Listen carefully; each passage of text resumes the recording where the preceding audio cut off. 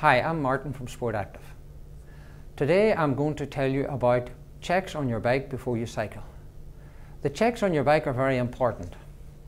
Firstly, you should look at the wheels. Spin the wheels and make sure that the wheels are running true and that the brakes are not rubbing. Then have a look at the tyres and make sure that your tyres have no cuts and uh, are in good condition. The next thing you should look at is have a look at your chain. Your chain should be lubricated, not excessively.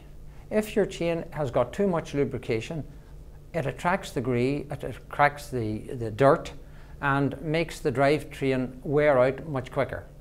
One thing to do to really uh, not cause a problem is to wipe the chain with a cloth to take off the excess lube, and that makes it uh, more efficient and also doesn't wear out as quickly. The next thing to look at is your headset. The headset is where uh, you have the, the forks in the bike, which is the steering.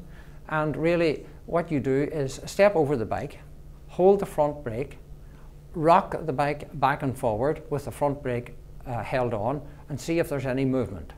Now, if there's movement in that, it's best to have it checked by a, a trained mechanic because the adjustments are very particular and things must be torqued up for safety reasons. The other thing to check on your bike really is have a look, a general look around it that all the wheels are in good condition and that there's no uh, damage anywhere on any of the wheels. These things are very important. For more information, have a look at our website, Sport Active. Thank you.